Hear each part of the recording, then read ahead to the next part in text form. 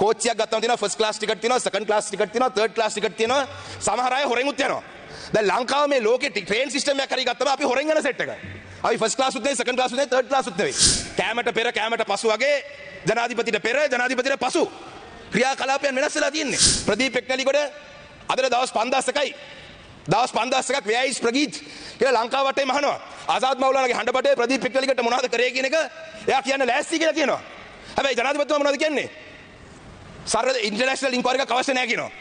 මේ වගේ තත්ත්වයක් තියෙනකොට අපි දැක්ක පහුගිය සතියේදී ජනාධිපතිතුමා ගිහිල්ලා විදේශ මාධ්‍යයකට විදේශ මාධ්‍යයකට ලොකු ලොකු පාට් එකක් දාලා තියෙනවා do you think we are second class citizens? කියලා. Now oh, honorable president his excellency the president if they think that we are i don't know if what his intentions were when you said that or in that interview. Even if that journalist thinks that we are second class citizens in this world who brought us to this state? You are a five time prime minister. You are also part of the problem. In case anybody in this world thinks that we are second class citizens you are one of the reasons why they think such matters. Why wouldn't they think that we are second class citizens? දැන් දෙවනි මේ ලංකාවේ ඉන්න පුරවැසියෝ දෙවනි කණ්ඩායමේ පුරවැසි ගැන උදාහරණයක් වශයෙන් ගත්තොත් එimhe කියමු දැන්. කෝච්චියක් ගත්තම තියෙනවා ෆස්ට් ක්ලාස් ටිකට් තියෙනවා සෙකන්ඩ් ක්ලාස් ටිකට් තියෙනවා තර්ඩ් ක්ලාස් ටිකට් තියෙනවා. සමහර අය හොරෙන් උත් යනවා. දැන් ලංකාව මේ ලෝකේ ට්‍රේන් සිස්ටම් එකක් හරි ගත්තම අපි හොරෙන් යන සෙට් එක. අපි ෆස් ක්ලාස්ුත් නෙවෙයි සෙකන්ඩ් ක්ලාස්ුත් නෙවෙයි තර්ඩ් ක්ලාස්ුත් නෙවෙයි. ඇයි මම එහෙම කියන්නේ? ඒ මිනිස්සු එහෙම හිතන එක වැරද්දක් නෙවෙයි. මොකද අපිත් මේ විදේශ රටවල් වල තියෙන සමුළු වලට රැස්වීම් වලට එනකොට අපෙන් අහන්නේ "Oh, you are from the country where judge has fled the country because there's no safety for him." අපෙන් අහන්නේ මොනවද? ඕගොල්ලන්ගේ රටේ නේද අර නීතිඥවරයෙක් සමා වෙන්න නීතිපතියෙක් නීතිපතිවරයෙක් නේද? ජජ් uh, විනිශ්චකාරවරයෙක් රට දාලා ගියේ රටේ ඉන්න മന്ത്രിවරු එතුමට මර්ධන කරදර කරා කියලා කියනවා. එතුමට නීතිපති නීතිපති දෙපාර්තමේන්තුවෙන් තර්ජන කරා කියනවා අන්න ඒ රටේ නේද ලංකාව කියලා කියන්නේ. අපි මොන සෙකන්ඩ් ක්ලාස් සිටිසන් කියලා අලුතෙන් ගිහිලා අපේ රට රට මේ එතන ගිහිලා මහලගොර රට මේ ඩිෆෙන්ඩ් කරපන්නේ මේ රට තුළ ඔබතුමා දැන් මේ කරන වැඩ නිසා අපිට මේ වෙන දේවල්. ඊළඟට බලන්න ප්‍රදීප් එක්නලිගොඩ අදට දවස් 5000කයි දවස් 5000ක් ව්‍යයිස් ප්‍රගීත් කියලා ලංකාව වටේ මහනවා ආසාද් මවුලානගේ හඬපටේ ප්‍රදීප් එක්නලිගට මොනවද කරේ කියන එක එයා කියන්න ලෑස්ති කියලා කියනවා. හැබැයි ජනාධිපතිතුමා මොනවද කියන්නේ? සරල ඉන්ටර්නැෂනල් ඉන්ක්වයරි එකක් අවශ්‍ය නැහැ කියනවා.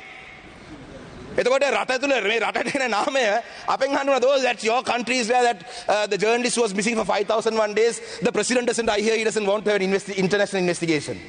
ඔබතුමා ගිහිල්ලා මේ do you think I'm a second class citizen? කියලා අහලා මේ ජාතික ලොකු ජාතියට ගැම්මක් ගෙනාවේ නැහැ ඔබතුමා රට රට පිළිබඳව තියෙන අපකීර්තිය තහවුරු කරලා ආවේ.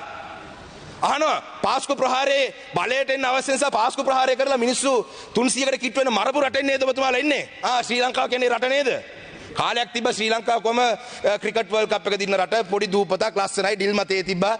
දැන් එහෙම නෙවෙයි. අර ඊස්ටර් සන්ඩේ ඇටැක් එක කරලා ඒක කවර් අප් කරන්න ඊට පස්සේ දැන් ඉන්න ජනාධිපතිතුමත් ඉන්ටර්නැෂනල් ඉන්වෙස්ටිගේෂන් එක එපා කියන රට නේද? ඔත අහන්නේ. වෙන මොනවද අහන්නේ? ලසන්ත වික්‍රමතුංගගේ ඝාතනය පිළිබඳ කියනවා. කවුද ට්‍රිපලි ප්ලටූන් එකත් එක්ක සම්බන්ධයි? කොහොමද ඝාතනය කරන්න? මම සාක්ෂි දෙන්න ලෑස්ති කියලා අසාද් මවුලානා කියනවා. පරීක්ෂණයක් පවත්වන්න ජනාධිපතිතුමා බෑ කියනවා. මොකද්ද ඒකට හේතුව? රටෙන් අහන්නේ මොනවද? මිග් වලින් හොරකම් කරපු හිටපු ආරක්ෂක ලේකම්ව ආරක්ෂා කරන්න බෑ කියලා කියන ජනාධිපතිතුමා ඉන්න රට නේද ඔබතුමාගේ රට?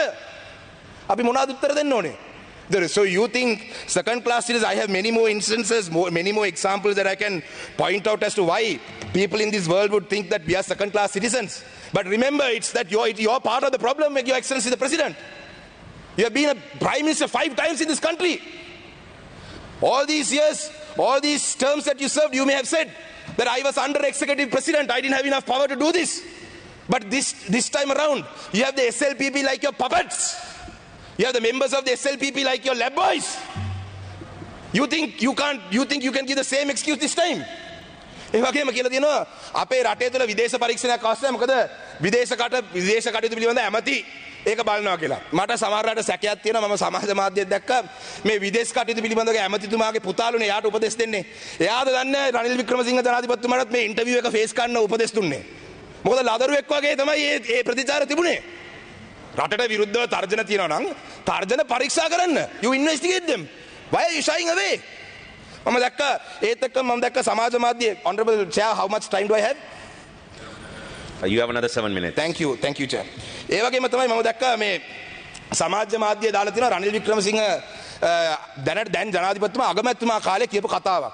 එතුමා කියනවා මාධ්‍ය ඉස්සරහා දැන් ගෑනු ළමයෙකුයි පිරිමි ළමයෙකුයි ලියුම් ලියා ගන්නවලු ගෑනු ළමයා ලියනවලු පිරිමි ළමයාට I hate you මම ඔයාට ආදරේ නැහැ මම ඔයත් එක්ක තරහයි කියලා ලියුමක් ලියනවලු ඒතර පිරිමි ළමයාට ඒ ලියුම ආවම පිරිමි ළමයා ජනාධිපතිතුමා කියන්නේ. දැන් මේ ලියුම ලියුම ගිහිල්ලා දුන්න කාරණයට තැපැල් කන්තෝරුවට ගිනි තියන්නේ නැහනේ කියලා කියනවා. දැන් මෙතුම බලන්නකෝ චැනල් 4 එකෙන් නිවුස් එකක් දීලා තියෙනවා. ඒක පරීක්ෂණයේ ජාත්‍යන්තර පරීක්ෂණයක් කරන්න කියලා රට තුලත් රටින් පිටත් ඉල්ලනවා. එතුමා මොනවද කරන්නේ ගිහිල්ලා මේ ප්‍රශ්න අහන ජර්නලිස්ට් තමයි තර්ජනය කරන්නේ. එතකොට එතුමා ඒ කියන්නේ අර අර කෑමට පෙර කෑමට පසු වගේ ජනාධිපතිට පෙර ජනාධිපතිට පසු ක්‍රියාකලාපයන් වෙනස් වෙලා තියෙන්නේ. ඉතින් ඒ ඒ- ඒත් එක්කම තමයි අපිට ඉතා පැහැදිලි. ඒ ඒකෙම කෑල්ලක් හැටියට තමයි මම හිතන්නේ මේ ඔන්ලයින් සේෆ්ටි බිල් එක අපි බල- දැක ගන්න පුළුවන්. දැන් මේ ඔන්ලයින් සේෆ්ටි බිල් එක කියලා ගෙනල්ලා මේ ඔන්ලයින් සේෆ්ටි බිල් එක කියන්නේ මේ රට තුල තියෙන මම දැක්ක I I was just part of a conference on uh, religious freedom. And Sri Lanka was one of the countries that we didn't have specific laws specific laws to curb uh, religious freedom. Rather sorry we, we were we were one of the signatory to the ICCPR act. but blasphemy laws we didn't have any blasphemy laws direct blasphemy laws so this online safety bill is going to act as one right now we have the ICCPR act which has been abused to arrest people who are against your view, to use against people with minority opinions in this country. So, this online safety bill, if it's brought, it will give the president immense amount of power to ensure that every voice that is against him can be suppressed. දැන් උදාහරණයකට මේ online safety bill එක ගෙනාවොත් එහෙම ඒකේ මගේ මේ කතාව දැන් යනවා. මේ කතාව YouTube channel එකක් අරන් දානවා. නැත්තම් මම පාර්ලිමේන්තුවේ එළිය කතා කරන කතාවක් ගන්නවා. ඒක YouTube channel එක දානවා. කවුරු හරි කණ්ඩායමක් මේ online safety commission එක හරි ඒ ඒ කමිටුවට කියන කම්ප්ලේන්ට් එකක් දානවා. මෙන්න මේ YouTube channel එකෙන් මට විරුද්ධ මෙහෙම ආණ්ඩුවට විරුද්ධ ප්‍රකාශයක් කරලා තියෙනවා. එතකොට මේ කමිටුවේ ඉන්නේ පස් දෙනා. ඒ පස් දෙනා පත් කරන්නේ ජනාධිපති. මං හිතන්නේ if I'm wrong please correct me. It's not even the constitutional council that appoints the five of them. Directly the executive president will appoint them. So මේ පස් දෙනා මොනවද කරන්නේ? ලා ජනාධිපතිතුමාගේ පස්සේ අපි දැක්ක ජනාධිපතිතුමා පත් කරන කට්ටිය මැතිවරණ කොමිසමෙන් ඉල්ලා ආස්වෙන පහුගිය කාලෙදී. මැතිවරණයක් ප්‍රකාශ කරලා දිනවල ජනාධිපතිතුමාගේ උමනාවට මැතිවරණ කොමිසමෙන් අයින් වෙන කණ්ඩායම් හිටියා. ඒ වගේ කාලෙක ජනාධිපතිතුමා පත් කරන කොමිටුවක් මොනවා වෙයිද? ඒ පස් දෙනා තමයි තීරණය කරන්නේ මිලියන 21ක් ලංකාවේ ජනතාව කියන දේවල් හරිද වැරදිද කියලා.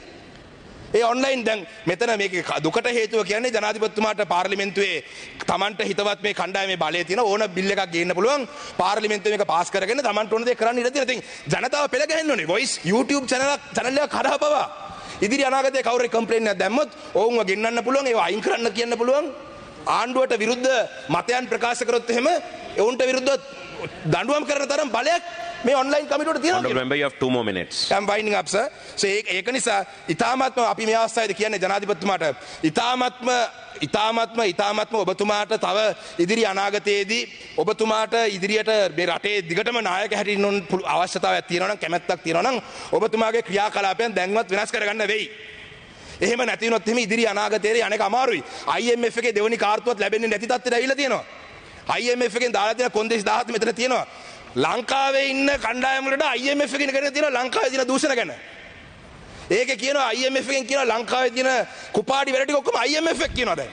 ඉතින් අපි කලින් ඉඳන්ම කිව්වා මේවා මේවා හරියට හදලා තිබ්බනම් අද වෙනකොට IMF එකෙන් ඇවිල්ලා කියන කලින් අවස්ථාවක් නැහැ.